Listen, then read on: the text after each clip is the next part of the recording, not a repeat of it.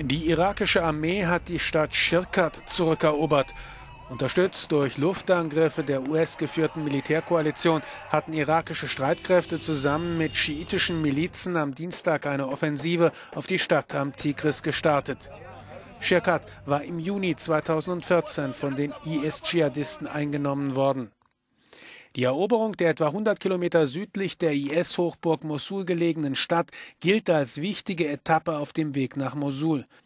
Sie beherrscht die Nachschublinien für den Luftwaffenstützpunkt Kayara, der als Ausgangspunkt der Mosul-Offensive dienen soll. Der irakische Ministerpräsident Haider al-Abadi hatte angekündigt, die von den IS-Dschihadisten im Irak gehaltenen Gebiete bis zum Jahresende einnehmen zu wollen. Zuletzt hatte die irakische Armee die bedeutende Stadt Fallujah aus den Händen des IS erobert.